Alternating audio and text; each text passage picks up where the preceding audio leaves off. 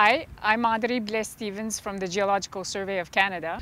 I compiled a map with uh, lots of help on the fatal landslides across Canada since 1771.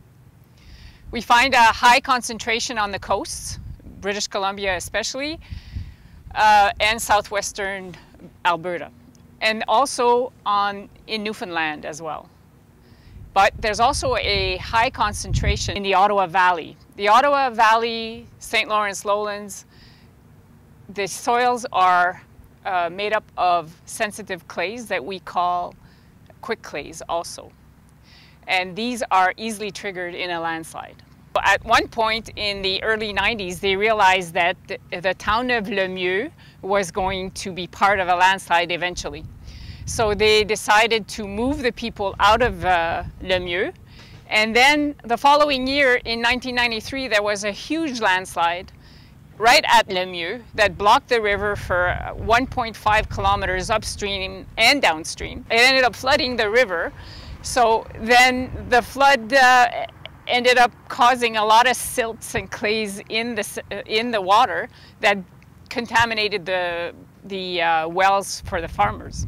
So the cost for that is in 1993 dollars was about uh, 13 million dollars. There are landslides in the Ottawa region as well, in the Ottawa area. It's just that it's been lucky that no one has passed away. Uh, we have no fatalities recorded related to landslides. When was the last landslide? The, that was fatal? Yeah. In Saint Jude in 2010, a family of four passed away while they were watching TV downstairs in the basement and it, the thought is, uh, or the trigger is thought to be uh, high pore, water pressure during spring melt that caused the failure. In the Ottawa Valley, uh, the, just north of Ottawa in Notre-Dame-de-la-Salette in 1908, there was the worst one uh, that is considered the worst in numbers.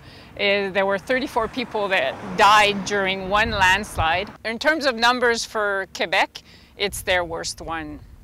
The second one actually occurred uh, 50 years ago today in Saint-Jean-Vianney, where 31 people passed away. Our role is to provide the baseline geoscience information to people that are geological engineers or geotechnical engineers that like for any kind of development, you need a geotechnical study. So we provide the baseline information and hopefully they will use it in their assessments. But they do the more detailed work as to where to build and where not to build. I just hope that this, uh, this information will be used so that the public knows more about this.